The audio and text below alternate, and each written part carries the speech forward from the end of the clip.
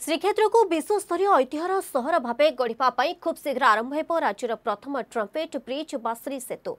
ଏଥିପାଇଁ ଆଜି ପ୍ରକଳ୍ପ ପ୍ରଭାବିତ। ଶ୍ରୀ ଜଗନ୍ନାଥ ବଲ୍ଲଭ ମଠରେ ରହୁଥିବା ପଇଁଚାଳିଶ ପରିବାର ମଧ୍ୟରୁ ପ୍ରାୟ ପନ୍ଦରଟି ପରିବାରକୁ ନେଇ ହୋଇଥିବା ବୈଠକ ବିଫଳ ହୋଇଛି।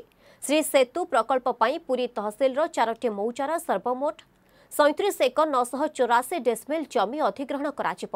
ଏହା ମଧ୍ୟରେ ସର୍ଭେ ଓ ମାପଚୁପ କାମ ସାରି ପ୍ରାୟ ନବେ ପ୍ରତିଶତ ଜମି ଅଧିଗ୍ରହଣ ହୋଇଛି।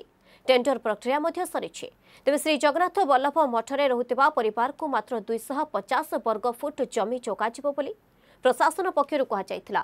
ତେବେ ଉଣେଇଶହ ଅଠାନବେ ମସିହାରେ ଆଇନ ବିଭାଗ ଓ ଦୁଇହଜାର ଏଗାରରେ ଦେବୋତ୍ତର ଓ ଟ୍ରଷ୍ଟ ବୋର୍ଡର ନିଷ୍ପତ୍ତି ଅନୁଯାୟୀ ସେମାନଙ୍କୁ ପାଞ୍ଚ ଡିସମିଲ୍ ଲେଖାଏଁ ଜମି ଯୋଗାଇ ଦିଆଯିବାକୁ କୁହାଯାଇଥିଲା।